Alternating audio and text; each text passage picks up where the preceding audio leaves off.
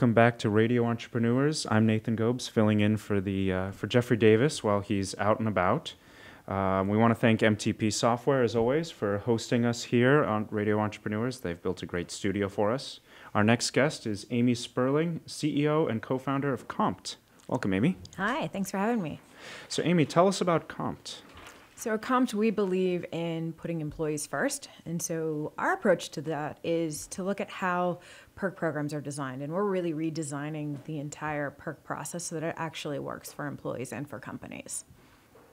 Interesting. Do you want to go a little bit deeper into that, into how Sure. you look through that process? Sure. So the entire process that we have now is it was it wasn't designed. It happened organically. Companies started looking at how they were compensating people. It was salary negotiation for a long time, and then all of a sudden, candidates would walk in the door and say, you know, I know my market range, and I expect that, and I expect other things. And so companies started trying to differentiate by bringing things into the mix, like, you know, gyms on site, yoga, manicures, lots of food, uh, those types of things. But that just started kind of ballooning and happening organically. And we've hit a tipping point where companies are at a loss of how to meet the individual needs of employees. And employees are sitting there going, okay, you're offering all these things, but they don't reply to me personally. So we've got a mismatch in the market right now. What do you think are some of the top things employees really are looking for? You li- think- listed a long list of things, Yeah. and they all sound great. But Right. uh, obviously, a company can't offer everything under the sun, and what really matters. Uh, every single employee needs something different, is what it comes down to. And there isn't a way to do that right now other than what we're building. Uh, because take health and wellness, for instance. Uh, companies could offer a gym subsidy. What if that gym is in downtown Boston and you're sitting in Natick? Like, you're not going to go. What if they're offering yoga in the office, but you're not into yoga? Uh, and so, they're right now, the only option for them is to prescribe this is the way we think about health and wellness, but it naturally excludes a lot of people who maybe want to do a healthy meal delivery system or want to think about it through a mental health lens and maybe get books on mental health or a mental health app. There's no way for HR to manage that right now. And so that's what we want to empower and enable because that's ultimately what companies are trying to drive and what employees are asking for. So, would you say the solution comes through more of a cafeteria style, where the, there's lots of options and the employees get to pick, or what are you saying here? Yeah. So the way it- works is that a company says, "All right, here's here's what we're going to be able to spend on uh, on perks." Uh, they pick a budget. It's at their discretion. Every company is different, and they say these are the things that really align with our culture. Whether it's you know we're a family first company, or we want to focus on health and wellness or continuous learning, uh, and they, so they pick the categories that they want, and then they turn it over to the employees. And as an employee, I get to see, all right, my company's giving me hundred dollars this month to spend on family. So for me, maybe I'm going to send you know flowers to my mom. For somebody else, maybe that means getting a babysitter for the night. Uh, it could be, you know, pet insurance if you're a pet parent. You, as an employee, I get to go out and buy anything I want and still get reimbursed and supported by my company. So it's truly, truly personalized to the individual because they can source anything they'd like. Nice. Uh, is there a particular industry of company that you tech, uh, tend to work with, or is it It's- agnostic? yeah, it's it's pretty agnostic. It's everyone who is in a competitive labor market, which is about half the companies in the U.S. right now are in competitive labor markets. So you're looking at about three million uh, companies right now. We see things. I was talking to a woman at a law firm uh, last week. They look at it's a big law firm, lots and lots of. I think they're close to a thousand lawyers. They look at their retention uh, numbers very closely. It's a very old law firm. And they see, you know, starting salary for a first year lawyer is $190,000 now, right out of school.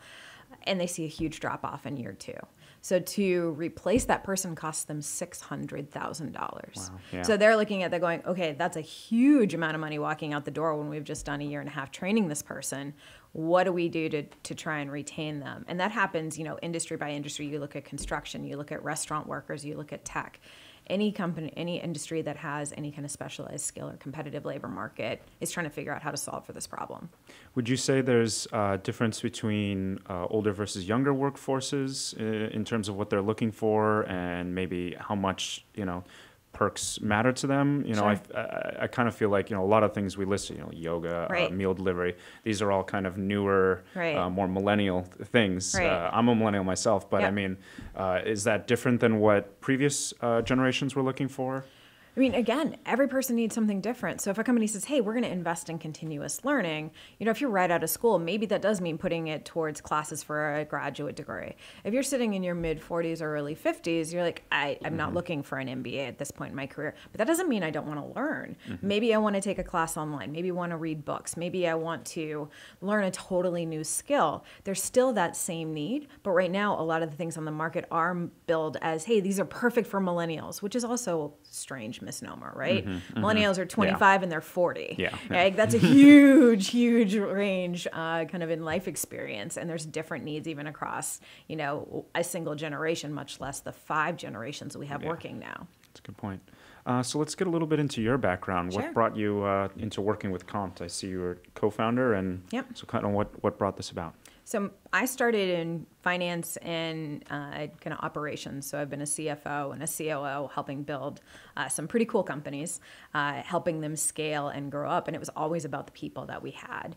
Uh, at one of the companies, we were growing at a really rapid clip. It was about, uh, I think we were doing about 30 onboardings a month. At the time, we were in 40 states, we were in 12 countries, and we're trying to figure out, all right, not only how do we get these people on board, uh, after we manage to recruit them, but then how do we create a consistent culture across our very dispersed team? And, and we had a very small HR team. I mean, I think there were three of us at the time. So you're spread so thin. And I'm looking at the tools that I have to try and do this, I'm like, okay, why why isn't there software to help us with this? Why? to create this consistent culture we you know our company built out on-site gyms so our big locations had amazing gorgeous state-of-the-art facilities mm-hmm. But the sites that had like 10 people they got nothing. right. and so how do you create this consistent culture? Uh, and i started seeing that not only at that company but at other companies i went to and was looking at going okay we, we can do this better. If we actually designed how perks work uh, this could benefit both employees and companies much much better. And so you see that pattern a couple of times and you you look at it and you go okay we need to go and figure out how to build this solution this is really important we need a tool to solve uh, the problems that we're seeing in the workforce today because the tools haven't caught up to where the workforce has So, do you guys, uh, when you say tool, do you have um, some software or It's something software. like that? Yeah, okay. it's a software solution. Okay. Uh, so everything's online, make it super easy for Nice. employees and administrators to use. Uh, you know, right now HR is spending. I mean, they can spend uh, anywhere from.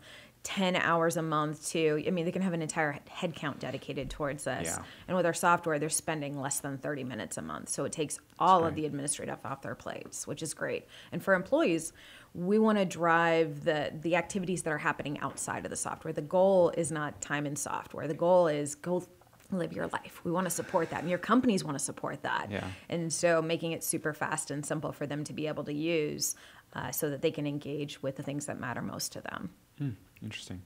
Um, you- if you had like a couple tips or you know advice for uh, entrepreneurs, business owners that are trying to wrap their heads around perks and the Sure. whole system, I mean, obviously the answer would be call you guys, sign up for comps. Uh, but short of that, you know, maybe if we could get a little look behind the curtain or just some advice that you could impart, uh, Sure. what would you say?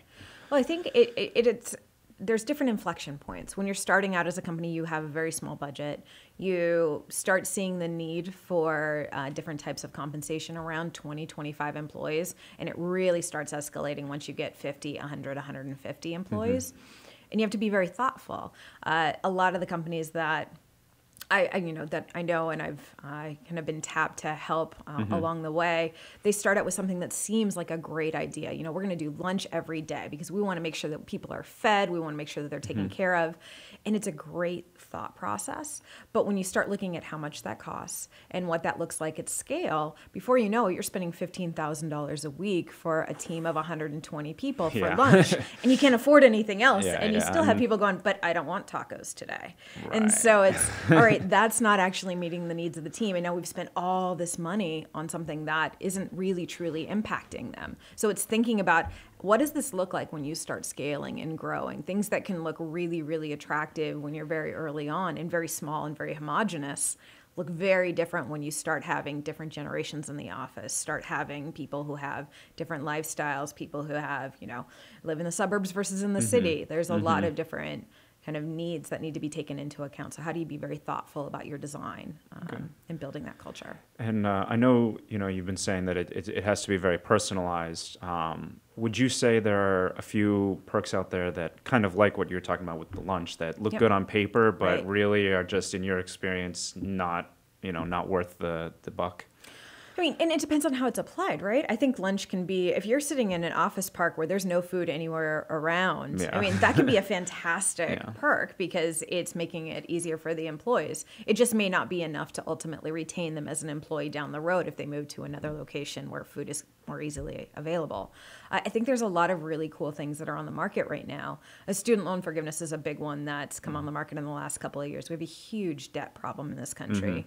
Uh, we have an ability to do student loan forgiveness through Compt, uh, and we look at it a little differently. A lot of the solutions that are out there, uh, you have to be the debt holder, and you need to refinance your debt through whatever bank is bank is backing the app that's a great perk for certain people but what if it's your kids debt that you're trying to help out with? Or you know your grandkids debt. So we can make it to where it applies to a wider a wider swath of people uh, and still have that impact. And so it's looking at again the the things that are available and how does that apply to a broader base of the team. Hmm, interesting.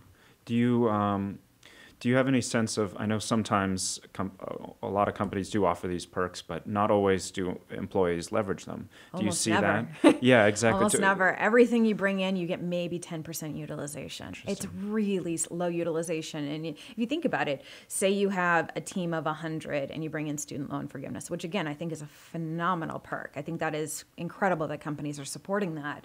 But what percentage of your team has student loans? And then what percentage of them actually want to go through the process of refinancing that loan and going through this thing? Mm-hmm. And you're looking at, you know, maybe five, ten people who are going to take advantage. Hmm. And so you say, okay, well, what else can I bring in? Mm-hmm. And then you start looking at, you know, maybe fertility benefits, which again, I think are an amazing perk, but how many of your people are sitting at in an age range where that is something that matters to yeah. them? And so you start slicing and dicing all these little things, and it gets really, really um, out of control really quickly. Mm-hmm. Uh, and you see very low utilization. By moving to personalization, we have a 97% account activation rate on our software. Wow, Like wow. almost everybody activates. Yeah. And we see really high utilization uh, across the funds that folks have access to, anywhere from 75 to 95%, depending on the stipend and the way it's structured. So we're seeing much higher utilization of these benefits because people can get what truly matters to them. And that's what's really exciting to see is like it's working. Yeah, Like yeah. people are getting things that matter to them. That's really exciting. Yeah, I, I mean, I would wonder for companies not Yeah. using your, your software that have much lower Right. rates of utilization. Do you find, I mean, again, you know, the answer is use Compt, obviously, but uh, do you find that there, there's got to be a balance to where, uh, you know, an amount of perks offered Right. is, is kind of just not even necessary at a certain point, you know, versus maybe Right. increased salary or Right. other things like that? Well, it, it depends, right? Like if you're not paying a market salary in this market, and you can define your market however you want, little tiny companies in this specific neighborhood, and like define it however you'd like. If you're not paying market, you're not going to get the candidate. We've got over six million jobs open in our top ten cities. I think it's like 350,000 jobs open in Boston right now. Wow, That yeah. just can't be filled. There's not enough labor to go around. So if you're not paying a market salary, you've already lost the candidate. It's once you decide you're going to do that, then it's what else are you adding to the mix? How are you really entrenching yourself and really supporting the lives of your team? That's what matters. And that's what changes the game where employees are like, look, I care about my career path. Now, my career path is not going to be forever in any given company because most folks stay 18 months to two years now. So, but I still expect you to to be part of that process. Uh, and how do I get to take classes? It doesn't necessarily mean an advanced degree. It could mean an online class somewhere or learning a new skill. How are companies investing in that and enabling Mm-hmm. that without saying, okay, you can take a class, but you not so much. Like, instead Hmm. Yeah, of yeah. doing that, democratize this and let employees really drive their own growth and put them in the driver's seat, and you see much higher engagement. Interesting. Uh, we've been speaking with Amy Spurling, CEO and co-founder of Compt. Amy, if somebody wants to use the software, get a hold of you, get a work with Compt, how can they do so? They can reach me at amy at compt, C-O-M-P-T dot I-O, or, or reach out through our website, www.compt.io. Awesome. Once again, Amy Spurling, CEO and co-founder of Compt. Amy, thank you for joining us Thank today. you so much. We'll be back with Radio Entrepreneurs after these messages.